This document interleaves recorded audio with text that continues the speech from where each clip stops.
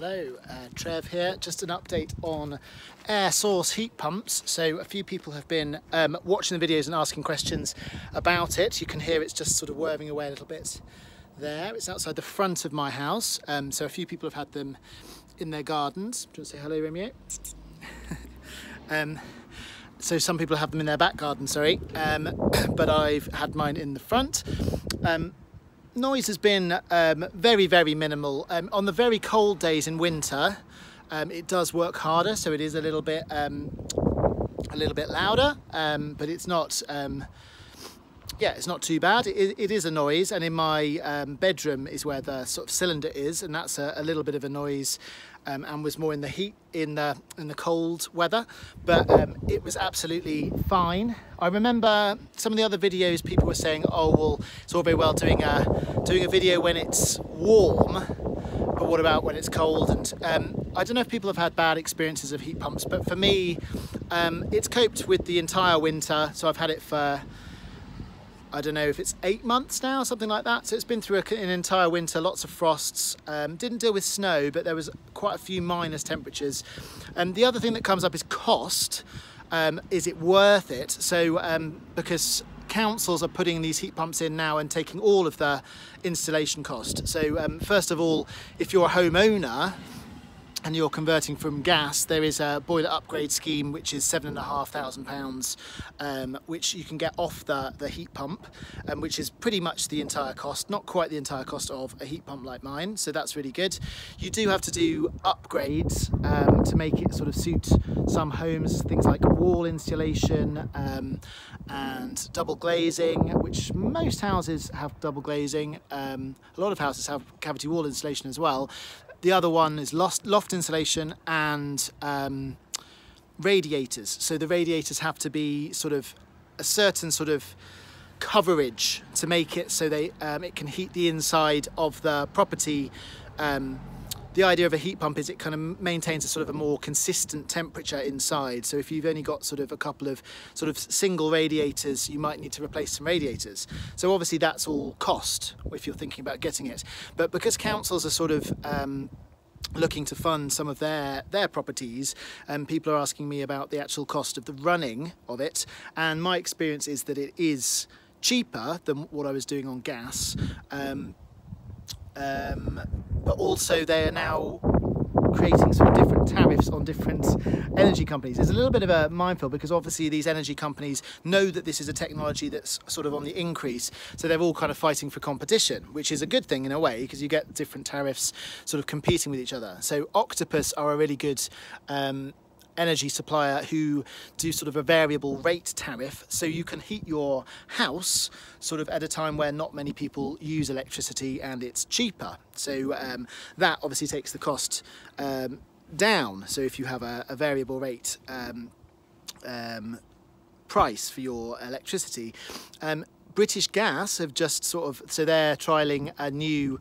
um, tariff, which a few of us are on in, in Rose Hill, which I think will be released probably next year just to collect data. But obviously British Gas are a massive um, energy supplier.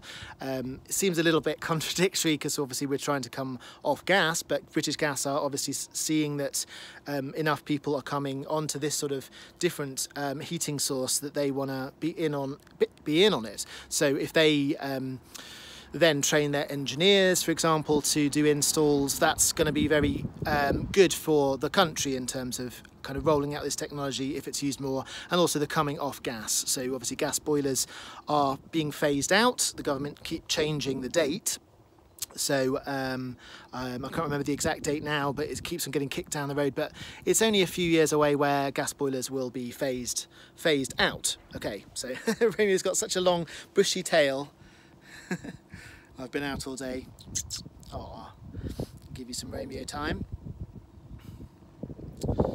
But yeah, all in all, if you have the opportunity for heat pump, heat pump in your property, um, then yeah, do drop a comment if you need more information. But I, I think it's been a really good, uh, good investment for me. My, my boiler was very old, so that's another thing to consider. If you've just got a new boiler, then that might not be ideal timing for you. But if you've got a boiler that's sort of already a little bit old anyway, then that might be a good, a good thing to do because it's a new technology.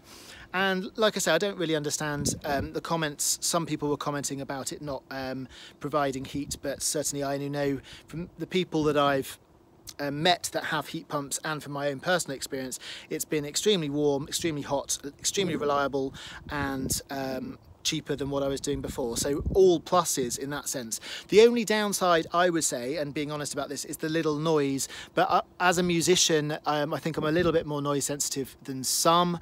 Um, there are different ways around it. So you can have quiet mode, you can sort of have it on at different times. And like I say, it's only really um, been sort of louder when it's been very cold. So you're not likely unless you're unless you're me and you're into your cold water therapy, um, likely to maybe sit outside near it um, on a cold day anyway. But um, but that's just the way the way it is. Um, so it's it works harder in um, in the cold weather, obviously, because it's got to do more do more work. So now it's just sort of a little kind of purr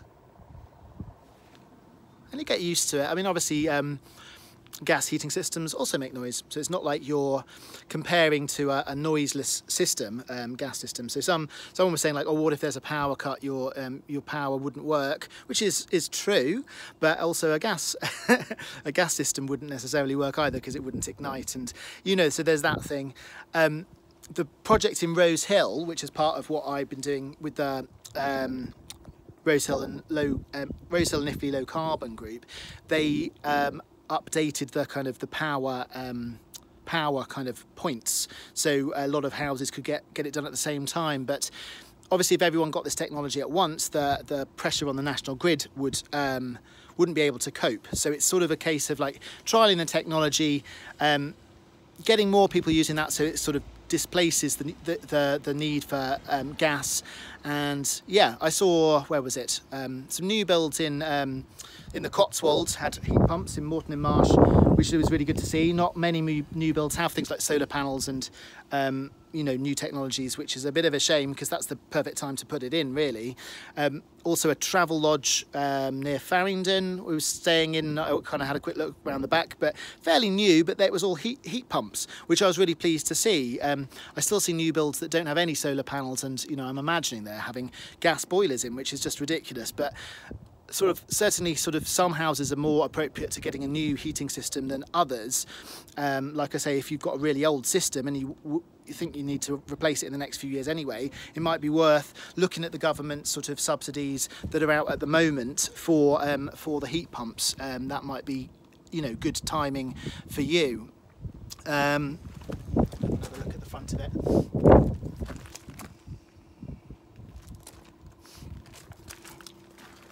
Yeah and I think um, that's probably all to say at the moment. So yeah thanks for following the other videos. Do leave a comment if you like heat pumps. Also if you've got like problems or questions about heat pumps uh, I'll try and do um, more videos helping, helping people kind of learn about them a bit. Um, and yeah do click subscribe if you haven't already. And um, yeah see you in the next video. Take care. Bye